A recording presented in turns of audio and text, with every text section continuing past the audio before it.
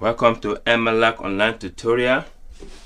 Before us is this question and it says how many moles of copper will be deposited by 4 moles of electron in the reaction represented by the equation? And here is the uh, equation.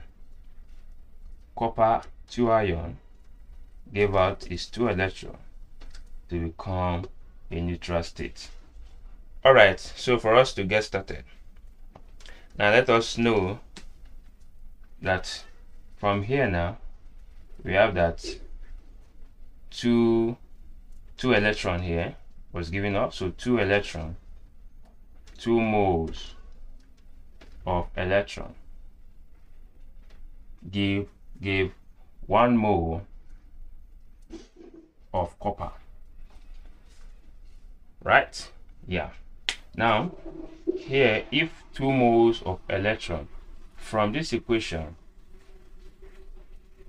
gave one mole of copper. Now the question now is how many mole of copper will be deposited from four moles of electron? All right so and as such so four moles of electron will give x mole of copper. All right so this is same time just saying that 2 equals 1 and 4 equals x. So cross multiply.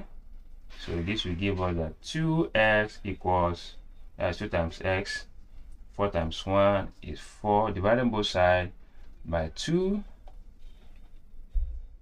so 2 here 1 2 here 2 so uh so here our x now give us 2 so which means 4 mole moles of electron.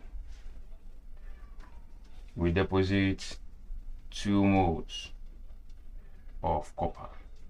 All right this is the final answer. And if you love what i've just done please kindly subscribe to my youtube channel and ensure you click on the notification button to be notified of every of my video in chemistry physics and mathematics. Thank you and god bless you